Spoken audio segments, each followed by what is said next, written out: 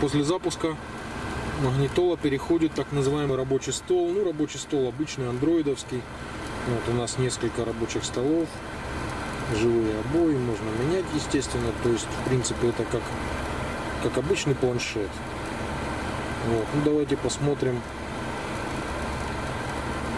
об устройстве, о планшете. Вот смотрим. Тип процессора четырехъядерный R16 по 1,6 ГГц. Версия Android 4.4.2.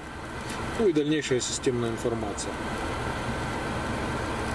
GPS можно проверить э, встроенной программой теста э, GPS Test Plus.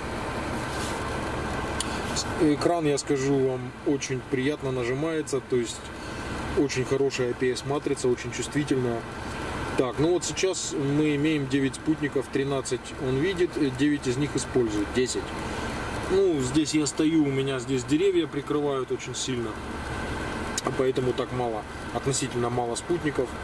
На устройстве есть э, клавиши быстрого доступа э, к навигации, э, кнопка возврата назад и кнопка домой, то есть на рабочий стол. Давайте пройдемся по рабочему столу. Вот здесь вот предустановлена иконка навигационной системы. Также она продублирована кнопкой быстрого доступа для удобства. Вот это вот у нас приемник с памятью на 18 каналов в одной ячейке и при переключении вот этой вот кнопкой Band у нас во второй ячейке тоже 18 каналов памяти. Вот. Далее у нас вот эта кнопка меню, выхода в меню. Здесь у нас настройки, различные установленные программы. Ну, в принципе, как и на всех Android устройствах. Вот. Вот это у нас кнопка Bluetooth соединения. Сейчас я включу на телефоне Bluetooth.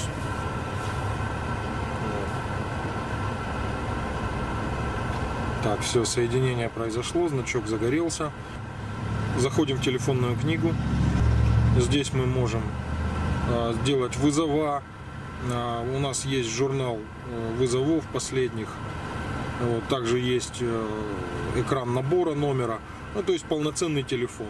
Вся эта информация считывается с телефона, к которому он подключен. Здесь у нас хранится список подключенных телефонов.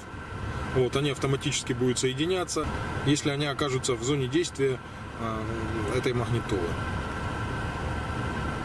А, вот это вот клавиша доступа к музыке. Ну, давайте покажу, как действует навигационная система. Очень удобно. Ну вот смотрите, предположим, у нас э, играет э, приемник, либо музыка, это совершенно не важно, либо запущена какая-то программа. Мы нажимаем клавишу быстрого доступа к навигации, и у нас запускается навигационная программа. Приветы обязательно прозвучат через час, ну и вы не плашайте, продолжайте отправлять, э, рассказывать. Соединение со спутниками установлено. И вот как вы слышите, слышите, навигационная программа автоматически приглушает громкость того, что у нас играет. Очень удобно. Вот, давайте посмотрим, как подключается к Wi-Fi точке. Так, вот. Wi-Fi включили меню. Вот, на телефоне я выбираю модемы точка доступа. Мобильная точка доступа. Сейчас телефон станет на раздачу. Вот, я уже соединялся с устройством, поэтому вот, получение IP-адреса, все подключено. Вот, магнитола у нас в интернете. Так, ну давайте теперь выйдем в интернет. Давайте зайдем на сайт нашего города.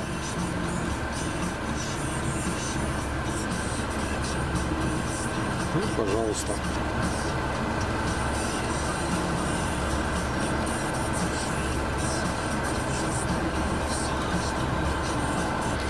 Давайте посмотрим Play Market.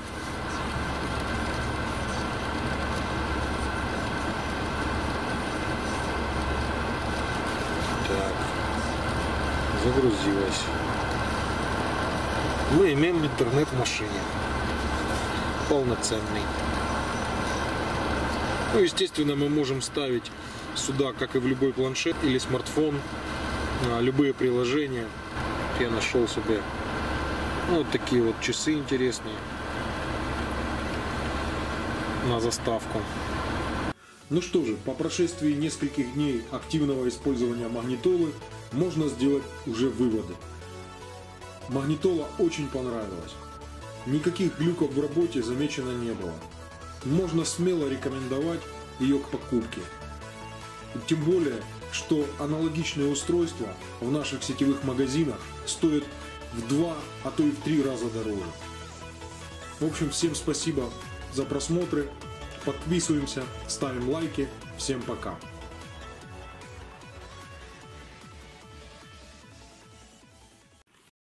Всем привет!